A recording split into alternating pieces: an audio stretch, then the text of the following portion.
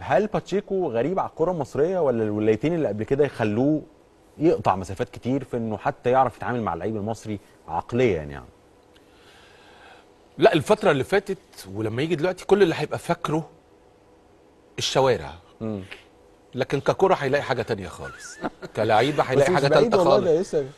بعيد صدقني بعيد 2019 2020 ده بعيد. ال quality اتغير بتاع اللعيبة كله والفكر والأسلوب والإدارات و... والله والشوارع اتغيرت لا والمحلات الشوارع والحاجات. آه لا لا يعني بس هو اللي هيعرفوا الطريق بتاعه يقدر يوصل للبيراميدز بيراميدز فرقة لغز مم. يعني من الفرق اللي يطلق عليها فرق الألغاز صح. يعني أنا مثلا عقلية فريرا بالنسبة لي الفترة الأخيرة عقلية مليانة ألغاز صح في. اختياراتها في ك... بيراميدز بقى نفسها ككل فرقة آه. لغز إيه اللي ناقصهم لما تيجي تتفرج على المنظومة الإدارية من فوق حاجة روعة. عندهم آه، واحد نشيط قوي ممدوح عيد بيدير بشطارة قوي. الأجهزة الإدارية كلها متوضبة البيت متوضب صح. تيجي على منطقة اللعيبة. إيه الكواليتي ده؟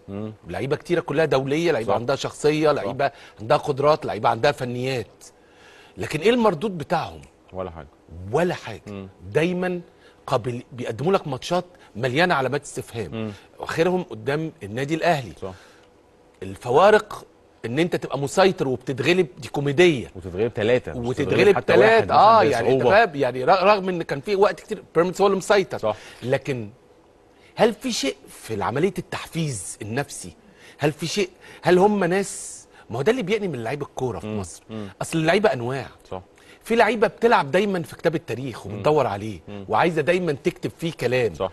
وفي لعيبة بتدور بس على حسابها في البنك. جدا. وده الفارق الكبير. أو ده اللعيب الصنايعي وده لعيب الكرة الفنان ولعيب الكرة الصنايعي انتشر عندنا في مصر كتير. طب السؤال برضه يا كابتن أيمن هل اللعيب اللي بيدور على حسابه بتاع البنك ده لما بيشبع ما بيقد... ما مش ف... ما بيفرقلوش بتفرق في ال spirit بتاعته ما بيفرقلوش بقى نتائج ما طبعا خلاص أنا شبعت أنا تمام هتعمل إيه ما أنت كمان متورط في عقدي وقيمة عقدي عشان كده بحلم كنت العقود كلها تتغير في مصر تبقى مرتبطة بنتائج ومرتبطة ببطولات وبطولات. وأهداف صح. صح. لكن العقود ال- اللي معمولة في مصر دي كلها كل واحد ده ب 20 وده ب 15 طب كسبتني؟ إيه آه. وعملت إيه آه. كل ده موديك في ال... في ال La La Land ال- صح. اللي إحنا بنتفرج عليه خلينا نتفق إن ده بيراميدز في حاجة ناقصة. ال- ال- التركيبة البازل بتاع في حاجة ناقصة. إن الفرقة دي تقدر تقول أنا بنافس بكل قوة. هي بتنافس بالأسماء دي طب ما طبعا هتنافس. لكن الحقيقة المنافسة مش موجودة ودي غريبة. وبيراميدز محتاجين في وقفة يعني ممدوح عيد لازم يدور عليها. إيه اللي ناقص؟ عشان يتنقلوا إن هم يبقوا ياخدوا دوري صح. ياخدوا كاس بسهولة. ياخدوا كونفدراليه ياخدوا حاجات يعني عندهم منافسات يعني. كتيرة. بصراحة كل الإمكانيات دي خسارة وف- وفرقة بتقدم بشكل مختلف. أما المحلة فهي حبة فوق وحبة تحت دلوقتي. يعني ماشية تبع السجع ده أو الأغنية حبة فوق ممكن يدي لك شو لكن يتغلبوا على أرضهم قدام سيراميكا 3-0 والشو والأهداف مكررة و و و طب ما هو في اضطرابات فرقة مشيت كويس. وكنت لسه أنت بتتكلم مع الكابتن أبو العلا وكابتن فضل النقط اللي جابوهم السنة دي وابتدوا بيهم السنة دي. ده في من سنين فاتت ما حصلت لهمش صح صح. وانس حصل الاستقرار حصل هدم. ده إيه العجب ده؟ ده إيه المخاخ دي. يعني وانس حصل استقرار فني ما بين المدير الفني واللاعب. تقوم يتهز المدير الفني ويتقال له عروض وهيمشي ومش عاجبه وما بيقبضش ويقبض. الله ده فرقة لقت طريقها. صح. إزاي بتخرجها من على طريقها تاني؟ وهتعوز إيه أكتر من كده؟ المحله في المركز الخامس النهارده عنده إمتى؟ 18 ده. أنت لو فرقة التحليل عندك جوه جابت لك إمتى المركز الخامس في التوقيت ده؟ آه. على آخر 10 سنين ممكن تلاقيه ما حصلتش. صح.